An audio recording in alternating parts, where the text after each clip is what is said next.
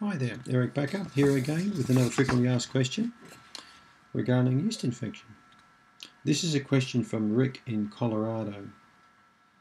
Eric, what is the recovery time in Candida? What is a normal time somebody recovers from a uh, chronic yeast infection?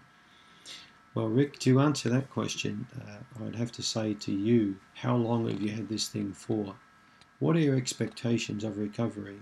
Have you had this this thing for a year or two years.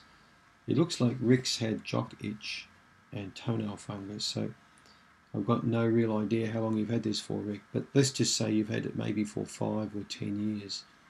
Well, the recovery time really depends on a lot of factors, but it depends particularly on, on how you apply yourself towards the recovery. What measures are you taking? Are you treating this thing locally, systemically? Are you looking at your lifestyle and diet? Or you're just expecting supplements to, to do the curing for you. Are you using a combination of pharmaceutical uh, uh, drugs, antifungal creams or pills? And uh, do you keep on drinking alcohol when you do this?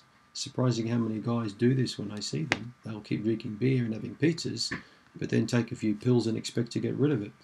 Well, in that case, the recovery could be protracted. It could take a long time. So, how long does it take someone to do a PhD?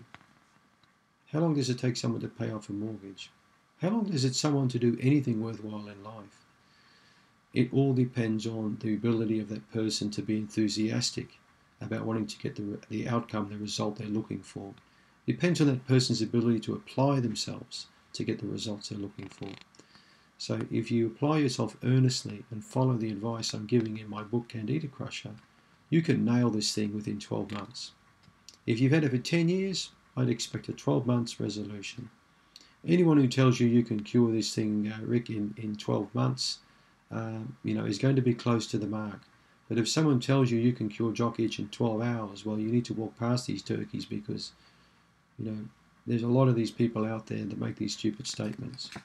Just like I get spam, you know, emails in my inbox saying I can, uh, you know, there's a $126 million check for me to pick up you know, whatever, some nonsense like this, you know. If you believe in this this sort of nonsense, well, you know, there's no hope for you. But I don't think you're that type of person.